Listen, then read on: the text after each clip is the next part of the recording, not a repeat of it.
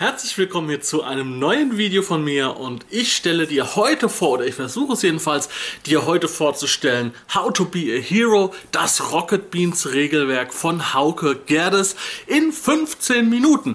In diesen 15 Minuten versuche ich dir das, die komplette Charaktererstellung zu erklären, das Regelwerk, wie ungefähr der Kampf funktioniert, weiterführende Informationen aus Spielleitererfahrungen, die ich selbst gesammelt habe und noch einige Tipps und Tricks. Ja, das kommt dann alles so am Ende. An dieser Stelle möchte ich dich darauf hinweisen, dass auf meinem Kanal für Einsteiger-Spielleiter oder Einsteiger-Rollenspieler ganz, ganz viel Material, Tipps, Tricks, Tutorials, ganz viele Rollenspielsysteme, Interviews und so weiter warten.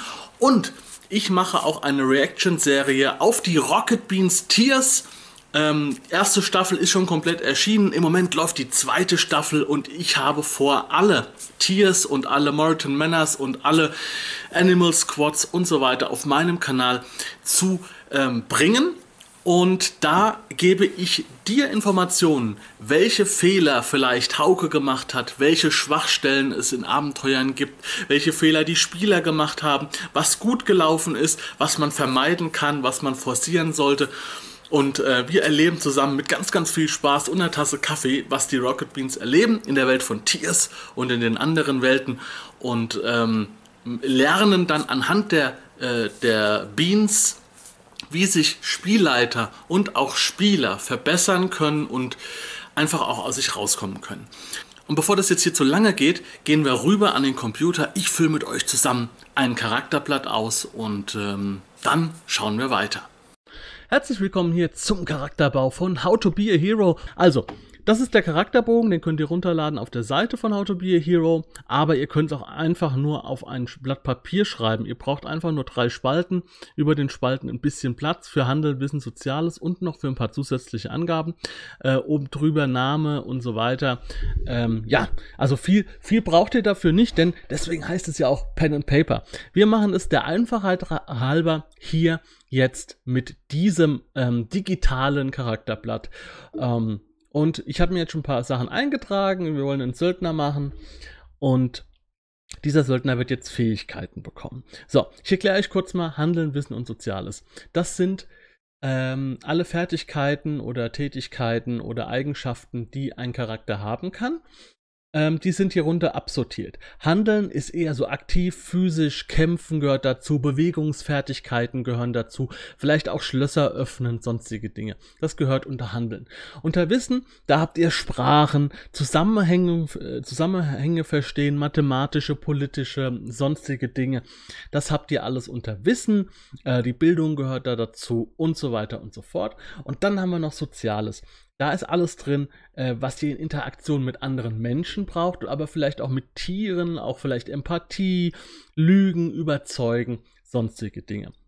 So, und wir machen jetzt folgendes. Wir verteilen 400 Punkte für unseren Charakter. Ähm, hier in dem Charakterbogen äh, besteht die Möglichkeit, dass man auch äh, die Werte hier unten erhöhen kann. Ne? Das ist ein, ein selbstrechnender Charakterbogen, der, äh, der könnt ihr dann verändern. Ach, diese blöde Taskleiste. So, aber die habt ihr nicht gesehen, die habe ich abgedeckt. So, jetzt machen wir. Nee, die ist. Die ist zu sehen, ja. jetzt machen wir folgendes. Wir verteilen jetzt Punkte. Und der Einfachheit halber machen wir 200 auf Handeln, 100 auf Wissen und 100 auf Soziales. Ähm, 100 ist auch der Maximalwert. Ihr dürft nicht über 100 vergeben. Wenn ihr über 100 vergebt, dann ist es ein Fehler. Also 100 ist der Maximalwert. Und da gibt es auch beim Verge Vergeben noch was zu beachten. Ah, eins habe ich fast noch vergessen. Jeder Charakter hat 100 Lebenspunkte. Fallen die Lebenspunkte des Charakters auf 10 oder unter 10, dann ist er bewusstlos oder handlungsunfähig und ab 0 ist euer Charakter tot. Ja? Das ist ganz wichtig. So, wir verteilen jetzt auf Schwertkampf und auf Athletik. Die habe ich schon mal eingetragen. Jeweils, nein, machen wir drei. Machen wir Schwertkampf, Athletik und Geländelauf. Das soll mein Söldner können. So, jetzt unterteilen wir das ein bisschen, damit es klarer wird. So. Ich, werde es jetzt einfach mal eintragen, ähm, damit, das, damit das alles gut passt. Ich mache jetzt einfach ähm, 75 auf Schwertkampf, 75 auf Athletik, sind wir bei 150 und 50 auf Geländelauf. So. Jetzt ergeben sich hier Werte und das ist das System von How to be a Hero. Da müsst ihr jetzt ein bisschen aufpassen, aber es ist nicht sonderlich schwer. Das kriegt ihr hin. Die Gesamtsumme der Punkte, die ich vergeben habe, sind 200. Dieser Wert in der gesamten Gruppe Handeln, 200, wird durch 10 geteilt. Das ist ein, mein Handelnwert von 10. Dieser Handelnwert von 10 nennt sich Begabungswert. Das bedeutet, wenn ich jetzt als Söldner zum Beispiel jonglieren möchte, und Jonglieren ist eine Handelnfertigkeit. Dann kann der Spielleiter sagen, du darfst Jonglieren versuchen. Und weil du körperlich fit bist und Bewegung gewohnt bist, darfst du das auf deinen Begabungswert machen. Und ich habe eine 20-prozentige Chance, das zu schaffen. So. Das ist die erste Spalte. Also das heißt, mein Grund, meine Grundchance auf alle Fähigkeiten, die unter Handeln fallen, sind 20%. Und ich bekomme, das ist der Vorteil, wenn ihr eine Fähigkeit lernt, also Schwertkampf habe ich gelernt, Athletik habe ich gelernt und so weiter, bekomme ich diese 20 Punkte auch nochmal obendrauf. Das bedeutet, mein, mein, meine, mein Grundwert im Schwertkampf ist 75, mein Grundwert weil ich mich sehr gut bewegen kann, sehr gut fingerfertig bin, sehr gut ausweichen kann und so weiter, ist mein Grundwert im Handeln 20, also habe ich einen, Grund, einen Gesamtwert von 95. So, und jetzt kommt noch das letzte, was ihr beachten müsst. Hier, das ist dieser, dieser Be Be Begabungswert, der ist 20 und den teilt ihr nochmal durch 10 und dann habt ihr hier zwei Punkte. Das sind Glückspunkte ähm, oder Begabungspunkte oder sonst, wie ihr es auch nennen möchtet. Und diese Punkte sind dafür da, Geistesblitzpunkte nennt, nennt sie das System, die sind dafür da, um in dieser Kategorie einen Wurf nochmal zu wiederholen. Ähm, oder euch Bonis abzuholen. Je nachdem könnt ihr ein bisschen variabel einsetzen. Ist natürlich ganz klar geregelt, ähm, für was ihr die genau einsetzen könnt. Ich schaue gerade mal, damit ich euch nichts Falsches erzähle. So, das habe ich nochmal frisch für euch nachgeschlagen. Also, die Geistesblitzpunkte sind einfach nur dafür da, dass ihr eine verpatzte Probe nochmal wiederholen dürft, aber ihr dürft keinen kritischen Misserfolg wiederholen. Was habe ich jetzt hier schon mal gemacht? Ich habe jetzt hier nochmal etwas eingetragen, nämlich Etikette 100. Ich habe am Anfang gesagt, dass der Grundwert nicht überschritten werden darf. Also 100 ist das Maximum, was ihr an Fertigkeiten in diesen drei Kategorien vergeben könnt. Jetzt habe ich Etikette 100 vergeben. Etikett, also 100 durch 10 geteilt sind 10, das heißt, ich habe einen Wissenswert von 10. Das bedeutet, ich habe, hätte eine Gesamtsumme von 110. Wie gesagt, 110 darf nicht sein. Dementsprechend würde ich jetzt meinen, Wert, meinen Wert hier ähm, verändern und zwar auf 90. So, jetzt ist mein Begabungswert für Wissen auf 9 gesunken und ich habe jetzt eine Gesamtsumme von 99. Also, wie gesagt, 100 nicht überschreiten. So, jetzt habe ich noch 110 Punkte übrig. Die gebe ich jetzt auf Soziales, auf Einschüchtern und auf Lügen. Das sind 55 Punkte. Das sind 55 Punkte. Und dann ist mein Charakter schon mal soweit fertig. Das zusammenzufassen, wie gesagt, ich habe jetzt auf alles, was mit Wissen zu tun hat, eine Chance von 9%, quasi, weil der Zielwert ähm, immer 100 ist, also ihr werft immer einen 100-seitigen Würfel und müsst immer dann die 9 oder niedriger erreichen. Die ist bei mir auf 9. Ähm, mein Grundwert für soziale Talente sind 11% und für Handeln 20%. Falls der Spielleiter mir nicht noch einen Bonus oder einen Abzug gibt. Und für meine ganzen anderen Fertigkeiten seht ihr die Werte hier vor. So, was gibt's noch zu sagen? Ähm, es ist nicht mehr viel. Okay, kommen wir noch ganz kurz zum Kampf. Denn viel ist es nicht mehr. Ihr müsst noch eine Initiative bestimmen. Und die bestimme ich dadurch, dass ich einen W10 würfle. Also wenn die Kampfsituation kommt, die Orks kommen angerannt und jetzt sagt der Spielleiter, bestimmt mal eure Initiative, dann würfelt ihr einen W10 plus die Begabung im Handeln wert.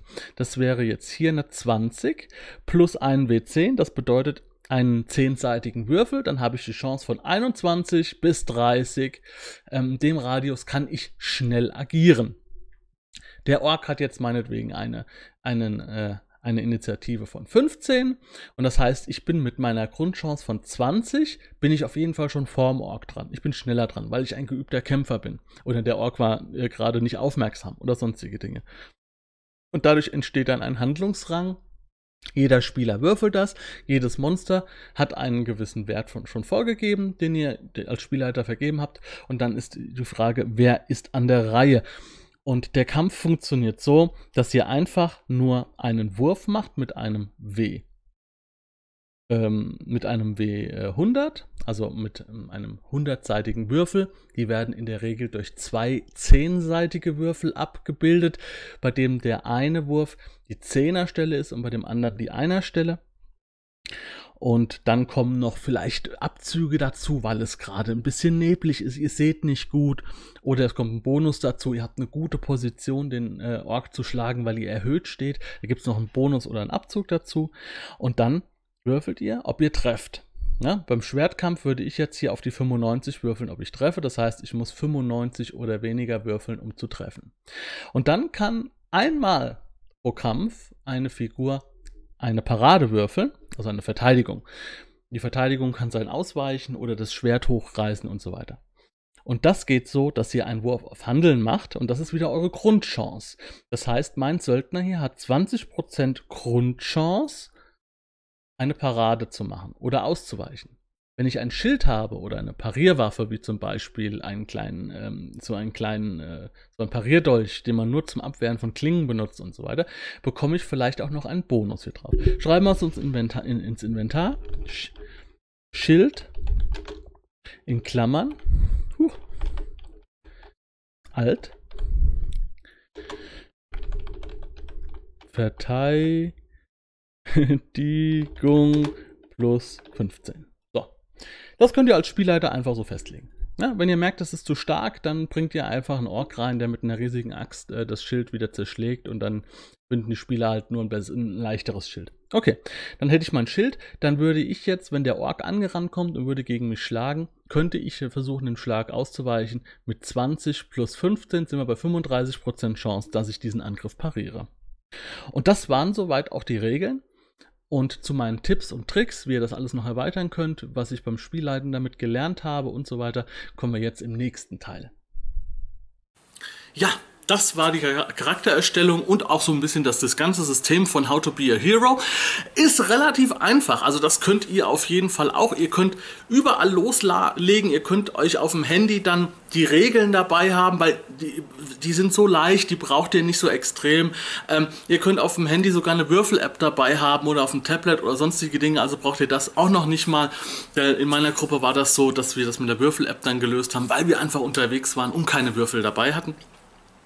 Und ähm, ja, meine Tipps, die ich euch auf jeden Fall geben kann, ist, äh, je nachdem, welches Setting ihr spielen könnt, dann schaut euch mal bei How to Be a Hero auf der Seite unter Module das mal so ein bisschen an. Da gibt es noch ganz, ganz viele Anpassungen, um das System noch ein bisschen mehr realistisch zu machen, um es ein bisschen aufwendiger zu machen. Ähm, es gibt da Module für Fantasy, es gibt da Module für Sci-Fi und so weiter, wo es nochmal ein paar Zusatzregeln gibt, wo das ganze System nochmal so ein bisschen auf ein anderes Level gehoben wird und ihr als Spielleiter viel, viel mehr machen könnt.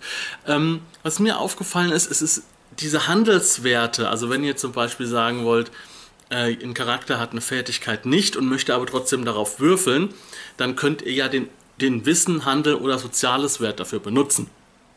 Das führt aber dazu dann, dass ihr eine sehr, sehr geringe Chance habt. Also wenn ich zum Beispiel äh, ja, die Verteidigung oder die Parade äh, ist sehr, sehr schlecht. Die ist ja nur der Handelswert. Jo, wenn ich ein Schild habe, dann verbessert die sich nochmal und so weiter. Aber gut, okay. Ähm, da kann es sehr, sehr stark ähm, so sein, dass ihr sagt, yo, die Helden sind mir zu schwach, äh, weil die halt nicht so viele Werte haben können und die sollen am Anfang schon stärker sein.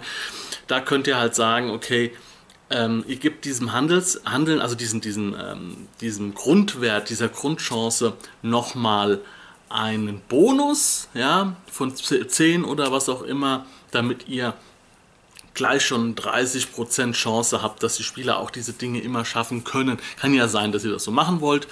Ähm, ja, ansonsten ähm, fehlen halt natürlich so Sachen wie Zauber, Technologie und solche Geschichten. Das fehlt alles in der Basisversion. Das kommt alles dann über die Module rein. Ich habe es zum Beispiel so gemacht, dass ich quasi jedem Spieler einen Vorteil gegeben habe. Nein, also nicht ich, sondern ich mit den Spielern zusammen. Ein Spieler war eine Druidin, äh, die hat ähm, also eine Spielerin war eine Druidin, die hat dann eine Heilfähigkeit bekommen und die, eine Fähigkeit mit einem, mit einem Raben, dass dieser dann, dass sie durch seine Augen sehen kann. Ein anderer Spieler konnte sich als Schurke äh, ganz, ganz getarnt bewegen, äh, fast unsichtbar und so weiter. Da habe ich jedem noch einen Bonus dazugegeben, so eine kleine Sonderfertigkeit, die sich jeder selbst aussuchen konnte. Und ähm, das war ganz schön und ähm, könnt ihr ja auch so machen. Man muss nicht immer Vor- und Nachteile machen. Gerade bei Einsteigern, da äh, ist es mit Nachteilen auch immer ein bisschen schwierig. Was soll man denn da machen und so weiter. Geht erstmal nur mit Vorteilen ran und die Nachteile kommen dann beim nächsten Spiel dazu oder beim nächsten Charakter. Das sagt, da machen wir jetzt auch einen Nachteil mal dazu, den ihr dann einbeziehen müsst. Also steigert euch immer Step by Step. Wenn euch das Video gefallen hat, lasst mir einen Daumen nach oben da und ein Abo. Und äh, ja, ich habe noch mehr Videos in 15 Minuten erklärt und ähm, die findet ihr auch unter dem Video verlinkt. Auch die Rocket Beans Sachen und so, das findet ihr alles unter dem Video verlinkt. Wir sehen uns im nächsten Video wieder. Macht's gut, Leute, und viel Spaß beim Spielen. Ne?